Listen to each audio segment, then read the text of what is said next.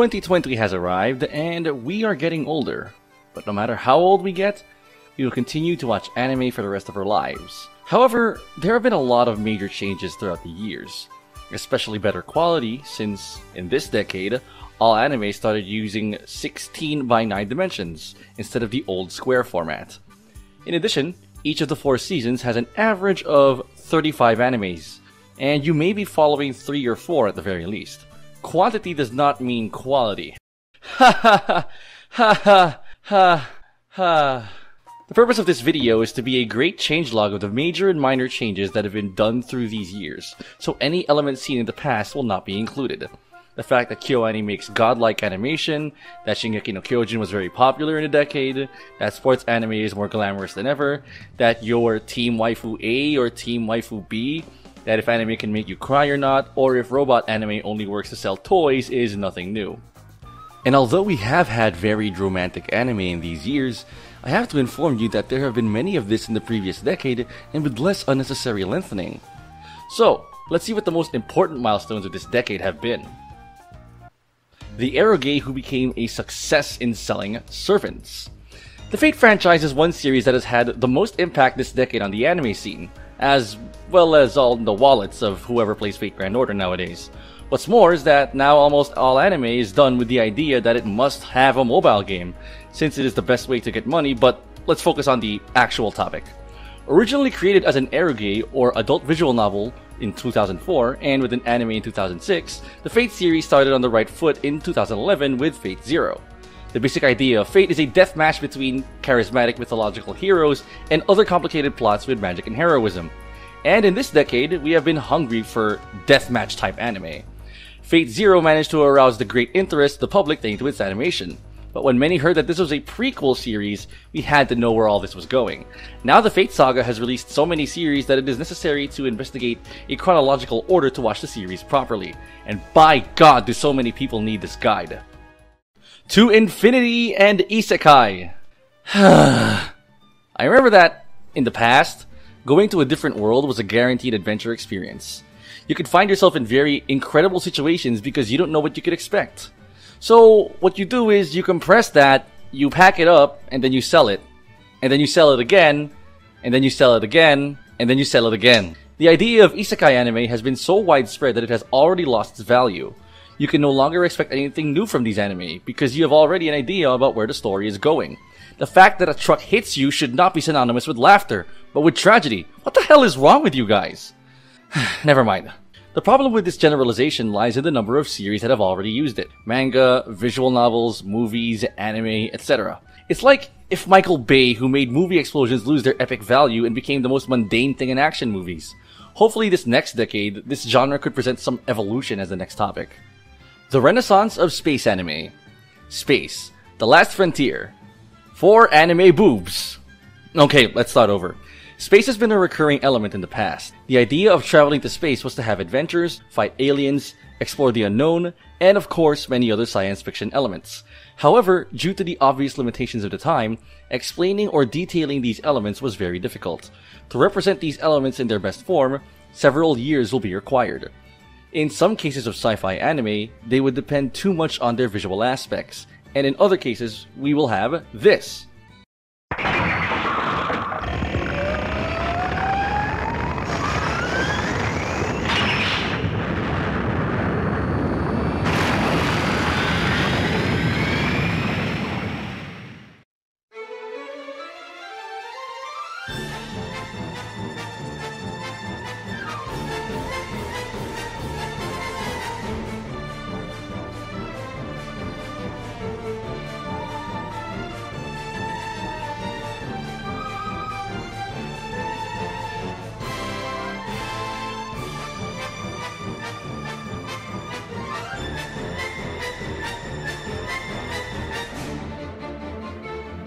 This revival of ancient space opera revives the success of its originals.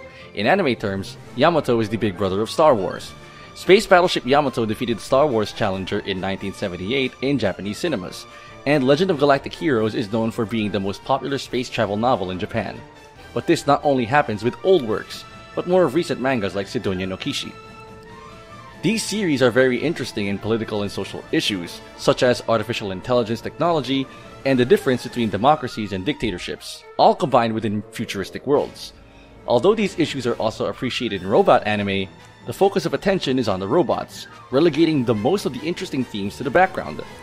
And the best example of this is Macross Delta, who replaced several of the main foundations of its predecessors with this. Although, maybe what you want is just to see spaceships fighting. Don't worry, there's going to be plenty of that. The death of filler, or at least in some good cases. In this decade, Naruto has finally concluded. Or, so we believed. The reality is that Boruto followed his father's legacy, and that is damn filler. When we talk about adaptations of long manga, such as shonen, filler is something obligatory to which we are exposed to, in addition to those sweet moments of bad animation quality. However, the miracle has happened that we have finally had shonen anime without filler and excellent quality. Who would imagine that Madhouse would make a long adaptation? That studio is known for not doing sequels. Now, you may believe that it is most common to make such an anime, but the truth is that anime is made with money to get more money, and this often limits what the original material can offer. So, I would recommend you not lose hope and keep looking. You may find some underrated jewels. Moe Military Propaganda The military topic has been a hidden genre in the anime in the past, but these began to become popular when they were mixed with more popular elements such as moe and isekai. However, another factor that intervened in this was anthropomorphism, which means attribution of human form qualities to what is not human. And as you can clearly see in this graph, this is getting worse. Much worse. Although this became popular in 2013 with Kantai Collection, there are already several projects that plan to continue with it in the coming years. Born edgy and died trying. Gore, blood, and violence is something that has been seen in many stories but all of them have made a terrible mistake when adapted, and that is not knowing what to do after that. I can't remember a single edgy anime with a good conclusion. The sad thing is that most of the case it's not the fault of the original material or author, but of the anime's own format. Either because there is a limit of episodes to make the arcs or the budget run out sooner than expected, these errors have triggered serious mistakes such as the pace of the series, the addition or removal of characters, or the hated original endings. Excellent ideas have failed to be developed in their most advanced phases and only left a bad memory of that series. Although, this was not all bad.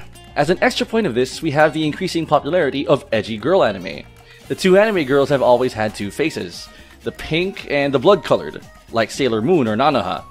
But it was Puella Magi Madoka Magica who wanted to exploit this edgy feature of the ma magical girls more and so other anime came out that sought to do the same, such as Gakkou Gurashi, Ikusei Keikaku, or Fate Kaleid Liner Prisma Illya.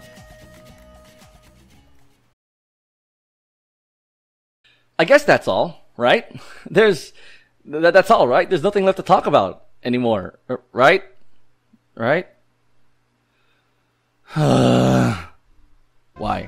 Why? Why? Because suddenly this started to become more popular. It's not as if traps became popular because cross-dressing had suddenly been invented, but the idea becomes attractive because it is a damn fetish that increases its stimulation because of the strangeness factor. While most of the blame for this comes from the imagination that the audience has, anime characters have made this romanticism more popular. It is difficult to say that this attraction comes from homosexuality because the reason is that a trap is interesting and it's because of its features being more on the greater feminine side. That is why it may sound gay, but many people believe it's not. And while we're mentioning fetishes, please don't forget about zoophilia too. With both successes or mistakes, although perhaps the biggest question is, what genre will be the next big thing? Animation studios are already starting to place their bet. Let the race begin. Greetings, I am known as Renoji. Because the author of this channel is involved in several projects, it has been difficult to make more videos more often. Moreover, this time the video was made in English for various reasons. We hope you liked the video and we wish you a happy year 2020.